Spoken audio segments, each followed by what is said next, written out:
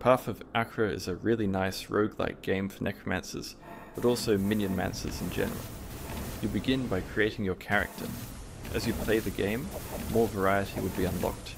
There's a total of 24 races to choose from, and lots of them will be great for your minions builds.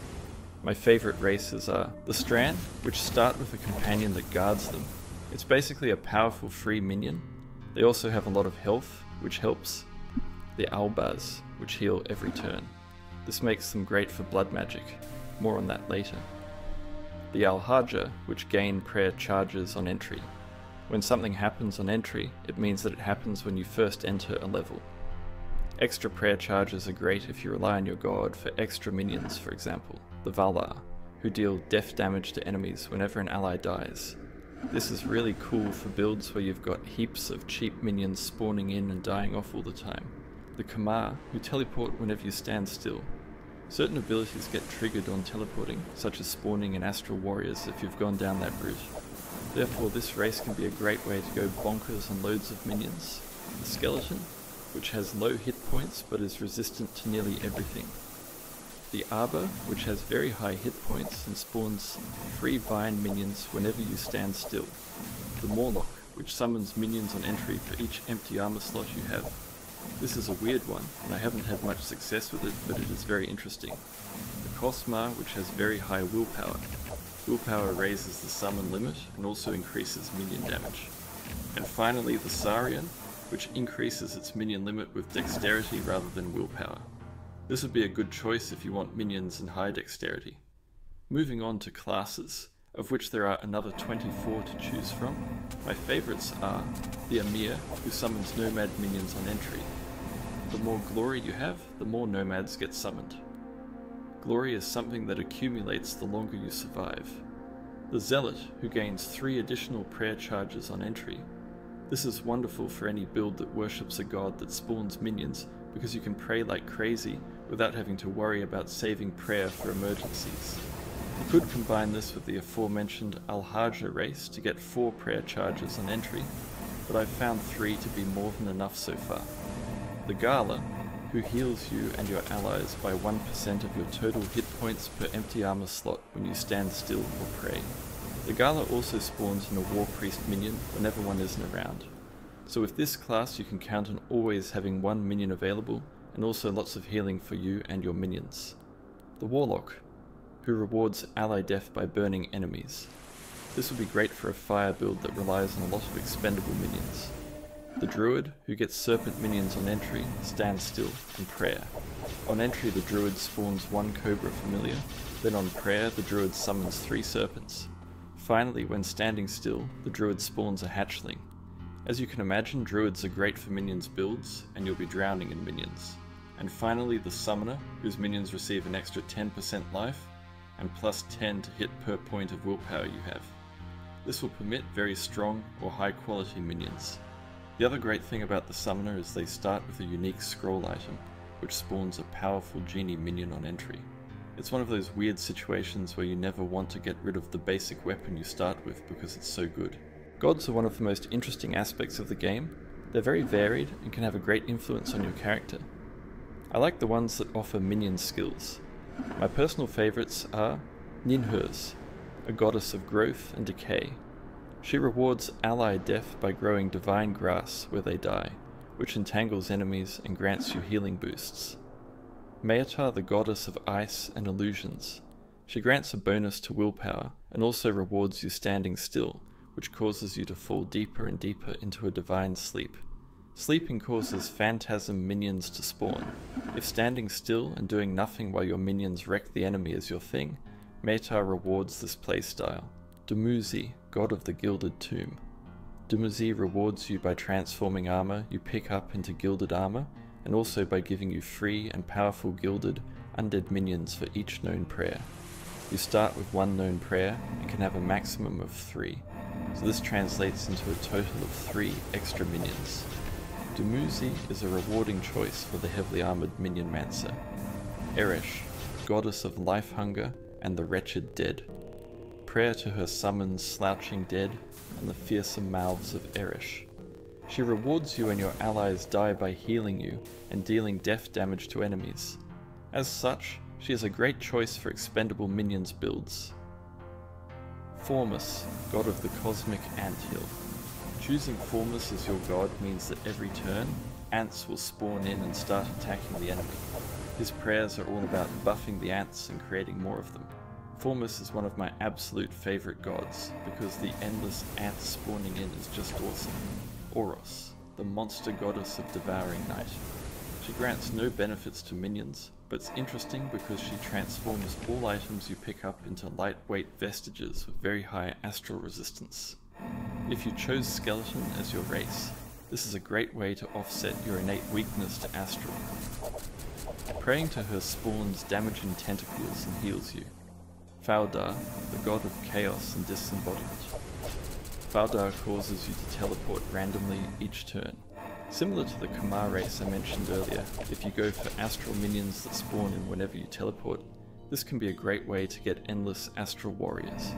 The only problem is the chaotic nature of teleporting everywhere can teleport you right into harm's way. Ixana is described as a divine eye that once stood at the end of the star path, which makes me think that perhaps Ixana is not a god like the rest of them. Nevertheless, worshipping Ixana is one of the best choices for a minions build. Simply worshipping Ixana raises your minions limit by 20, and praying to Ixana summons pillars that deal different kinds of elemental damage. If you combine this with the Zealot class, you're going to enjoy loads of free pillars roasting enemies. Your character progresses by completing areas. Each area gives you experience, which will grant you points that you can spend on skills, as well as on attributes. The other part is equipment, which can actually have quite a large impact. The attributes are strength, dexterity, and willpower. Willpower is what you typically want for minions, although some builds may use a different attribute for that. Skills are divided up into elements. There's a great variety of elements, and most of them have some minions and a transformation spell. Depending on the skill, minions spawn in different ways. Most minions get spawned once upon entry to a new level, others get spawned in only on praying to your god. Meanwhile, some others spawn in turn by turn, or on a specific action like standing still, teleporting, etc. Most of the magical elements offer cult skills which spawn cultists that worship your personal cult and are basically your fanatics. Martial is all about physical combat in the traditional sense, like beating people with swords and whatnot. Its skills are uninteresting to us. Fire is what you'd expect, but there are some interesting minion skills like Fire Familiar, Flame Cult, and a Newt Form Transformation. Summoning skills within Lightning include Fulminant Cult, Storm Calling, which summons Ball Lightning minions, and the Spark Form transformation. Poison is great because it provides oozes. The Burning Ooze skill spawns oozes that deal poison and fire damage. Oozemancy spawns oozes upon prayer, and Poison Familiar summons a pet spider. Finally, with Snake Form, you're able to transform into a snake. Death is our favourite element because it provides all the undead, but also other things we'd like such as the bat form transformation.